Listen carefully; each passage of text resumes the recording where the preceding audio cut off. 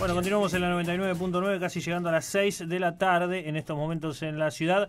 Eh, tenemos mucho por delante hasta la hora 19, por supuesto. Les reiteramos que en el 5640696 nos pueden seguir enviando nombre y últimos tres del documento, sí, porque en un ratito vamos a sortear la camiseta de Lucas Krupski, el lateral de Aldo Civi. Vamos a estar haciendo con Jorge Moreira en un ratito nada más. Pero mientras tanto vamos a hablar de otra cuestión. Nos eh, seguimos abocando al deporte en la ciudad de Mar del Plata porque el pasado fin de semana se llevó a cabo el Campeonato Argentino de Canotaje. Estuvo allí en La Plata representando a nuestra ciudad eh, uno de los uh, palistas destacados, claro, que tiene Mar del Plata, que es Federico Álvarez Fourcade. Y para hablar eh, de, de, esta experiencia lo tenemos en línea a Fede. ¿Cómo anda Fede? Buenas tardes. Te saluda Rodrigo Vivito. Hola Rodrigo, buenas tardes. ¿Cómo andas? ¿Bien? Todo en orden. Bueno. en Mar del Plata, eh, recuperando ¿no? después todo el fin de competencia. Bueno, ¿cómo fue ese fin de semana? ¿Qué análisis haces de, de los resultados? Estuviste compitiendo en 200, 500 y 1000 metros, ¿no? Sí, eso es.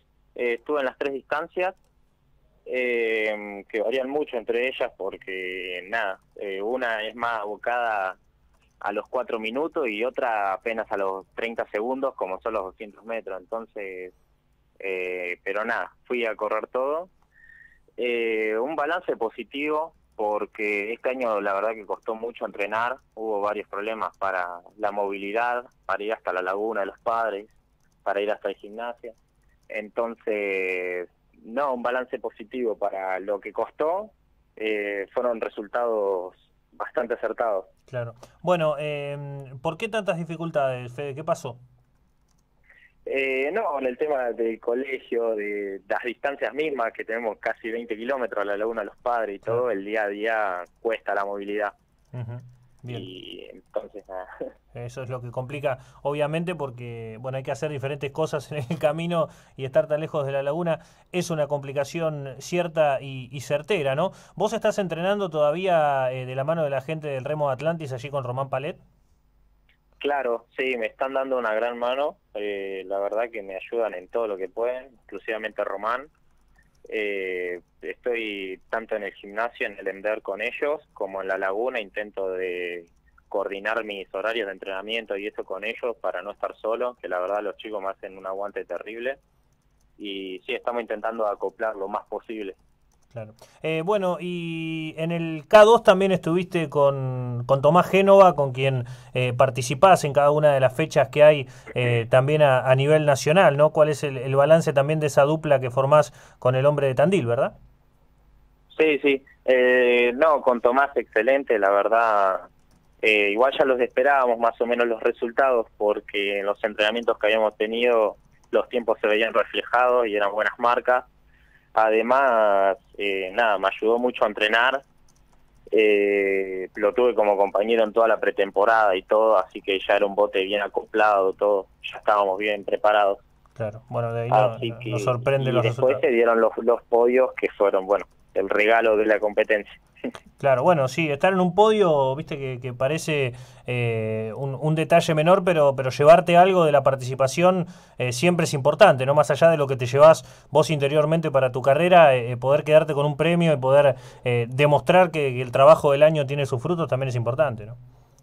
Sí, tal cual, te levanta mucho el ánimo el tema de las medallas, de los podios, de los resultados, porque al fin y al cabo uno, por más que le guste competir y todo, también busca ganar. Claro. porque es, es, como la satisfacción de tanto entrenamiento. Uh -huh. Y la verdad que no, una alegría bárbara conseguir los dos terceros puestos y uno que se nos escapó por nada. Y además de la carga que ya teníamos de correr todo lo que era en simple, en K1, entonces llevar el agotamiento de todo lo que era el K1 en la mañana para la tarde correr un doble y aún así poder andar bien cuando había otras parejas que nada más habían preparado para correr dobles. Claro. Entonces, nada, más que feliz con eso. Bien, ¿y por qué es tan difícil en Mar del Plata encontrar eh, exponentes de, de, de, primer nivel del canotaje? ¿no? Necesita, requiere mucho esfuerzo, mucha inversión, porque eh, realmente vemos el, el, trabajo, o por lo menos pudimos tomar contacto con el trabajo que, que haces vos, y, y realmente a vos particularmente te lleva mucho esfuerzo y mucho sacrificio, pero ¿es tan difícil desde el canotaje de, de, Mar del Plata ponerse al primer nivel nacional? Y lo que tiene el canotaje es muy particular por la cantidad de horas demandadas. eh, te demanda demasiadas horas de entrenamiento eh, ya a este nivel, ¿no? Eh, yo, yo, entreno seis veces a la semana, a veces siete, metemos uno o dos turnos por día, que más o menos llevan una hora y media, dos cada turno. Y más, como te contaba antes, con el tema de los transportes, yo de la Laguna de los Padres, en auto tenés media hora de ida, media hora de vuelta, eh, para después mover hasta el gimnasio. Entonces es una movida importante, no es fácil el día a día. Claro. Pero nada, eh, todo se supera con espíritu y con ganas también. Claro. Bueno, y en ese sentido, Federico, te vas a ir a, el año que viene a Europa. Contanos eh, cómo se, se, da esa posibilidad y, hacia dónde vas, ¿no? ¿Cuál es el objetivo de, de trasladarte al viejo continente? Eh, sí, con ayuda de mi vieja y eso, que la verdad un aporte gigante en lo económico, en lo actitudinal también, que siempre está. Eh, tuve la posibilidad de hablar con entrenadores de Galicia, de Tui, es el pueblo, eh, que está el Club Kayak Tudense, que es uno de los más importantes en lo que es España, y España es potencia en lo que es la disciplina de canotaje. Eh, y tuve la oportunidad de hablar con el entrenador de allá y eso, para poder ir a hacer una pretemporada o un año de, entrenamiento allá como para poder eh, mejorar, ¿viste? Hilar, hilar, fino el tema del trabajo. Claro. Bueno, será. Entonces, la idea, sí, tal cual. La idea es irme a entrenar con el equipo de allá, que es un equipo ya de selección español también, dentro del mismo club, por el mismo nivel que tiene. Hay muchos chicos de selección.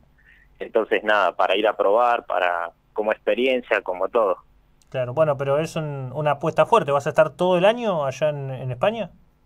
Sí, la idea sí, la idea es viajar a mediados de febrero o a principios de marzo y ya cumplir un año allá para poder hacer una buena base de entrenamiento, todo con entrenadores allá que espero que me puedan poner a punto. Y la idea es después volver para las fechas de los selectivos, pero no del 2018, sino del 2019 recién.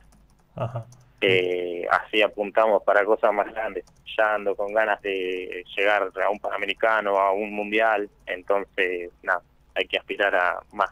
Claro, bueno, vas, vas a hacer una apuesta, ¿no? Eh, esperemos que, que, en ese sentido salga, salga bien para eh, después volver al país y aplicar todo lo que aprendas en, en búsqueda de objetivos internacionales fuertes, ¿no? Porque realmente se hace muy difícil integrar una selección argentina y ir a un torneo internacional. Sí, la verdad que sí, porque últimamente en estos años el nivel argentino creció muchísimo, ya de ver las plazas olímpicas que estuvimos para Río, que antes era una con mayor de las ganas y ahora ya tener nueve, diez plazas en un Juego Olímpico eh, se, se refleja como el canotaje argentino va creciendo el día a día y después el tema de los más chicos, se ve también en los tiempos que van logrando y eso como cada vez es más áspera la competencia, más complicada y como cada vez se dedican más al tema del deporte. Claro. ¿Y, vos estás pasando ya a mayores, a senior?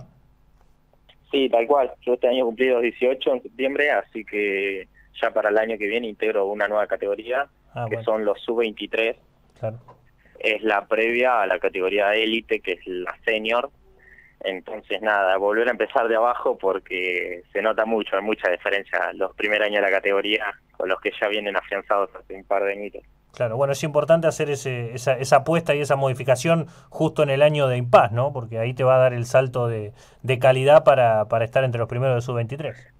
Tal cual, esa es la idea, de buscar justo en esta fecha para que en el cambio de categoría poder, como sé que el año que viene va a ser un año que no voy a andar punteando ni nada, las competencias, eh, buscar afianzar mejor los entrenamientos y la calidad técnica para en años siguientes poder ya hacer un poco más de renombre en las competencias. Claro, bueno, ojalá se pueda dar, la verdad que es una buena apuesta que, que, tenés la oportunidad de hacer y, sabemos que por el sacrificio que demanda para vos y tu familia la vas a tratar de usufructuar de la, de la mayor forma posible. Trataremos de estar atentos aquí a la distancia de Mar del Plata a ver cómo, cómo van las cosas allí en España y, bueno, te felicito por, por apostar, ¿no? que no es sencillo y que encima apostar fuera del país, extrañar, estar lejos de la familia y demás es una complicación, pero bueno, eh, esperemos que sea una buena experiencia para vos y con aspiraciones de, formar selección argentina en el 2019. Gracias por estos minutos, Fede, y por contarnos un poco de tu presente. Dale, muchísimas gracias, Rodrigo. Un abrazo grande. Hasta luego. Bueno, la palabra, la palabra, digo, de Federico Álvarez Furcade. Si viene de obtener dos podios, estuvo compitiendo en eh, K1 y en K2, en la distancia de 200, 500 y 1000 metros, eh, durante viernes, sábado y domingo en el Campeonato Argentino, allí en, en La Plata. Él está en la categoría sub-18, ahora pasa a la sub-23 y, eh, bueno, apunta fuerte al, al senior, ¿no? esperemos que llegue. La verdad que hace años que viene trabajando a mucha conciencia y con, con objetivos altos, ¿no? esforzándose para ser mejor. Y eso a veces obviamente trae sus consecuencias inmediatas en cuanto a resultados. Y ahora se va a España. En febrero o marzo del año que viene estará eh, entrenándose en España para tratar de mejorar su técnica individual.